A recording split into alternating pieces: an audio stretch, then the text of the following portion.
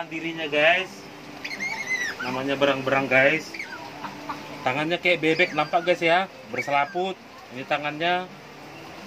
Hmm, mukanya agak imut-imut, mirip seperti apa ya?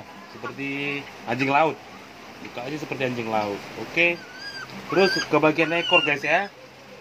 Ke bagian ekor guys, ekornya itu pipi. Seperti dayung, sampan. Makanya dia lebih gesit guys, ekornya pipi ha. Coba kamera agak diperdekat. Ha? Ekornya pipi. Ha. Pas seperti sampan untuk mendayung sehingga dia mempermudah mempercepat berenang di bawah air guys, menyelam. Oke guys. Untuk bagian kaki ya sepil ya. Bagian kaki pun serupa guys, berselaput juga seperti bebek. Hmm. Bagian kaki. Nampak guys? Perdekat lagi. Oke guys, nah bagian kaki masih berselaput juga ya untuk mempermudah dia berenang. Kalau, kalau mukanya guys lebih mirip ke apa ya? Ke anjing laut.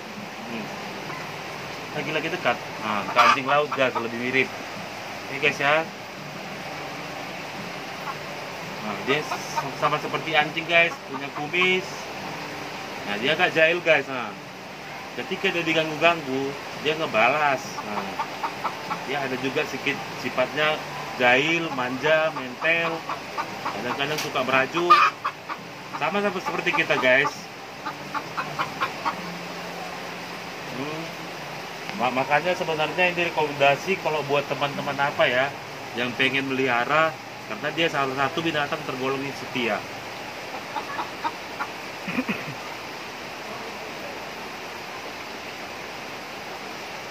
dia binatang uh, satu lagi dia binatang yang apa ya maksudnya yang ber, ber bergerombol maksudnya koloni. Mereka hidupnya bergerombol guys. Dia mereka di habitatnya itu nggak hidupnya sendiri sendiri mereka bergerombol ada pemimpin ada anak-anak ada apa lagi? Pekerja. Nah, gitulah guys. Mereka hidupnya berkelompok di habitatnya. Dan mereka yang satu lagi yang saya tahu guys, mereka adalah binatang setia. Apabila pasangan mereka mati, mereka nggak akan nikah lagi guys. Tetap bertahan di pasangan yang pertama tadi guys. Makanya tadi saya bilang ini tergolong binatang yang setia.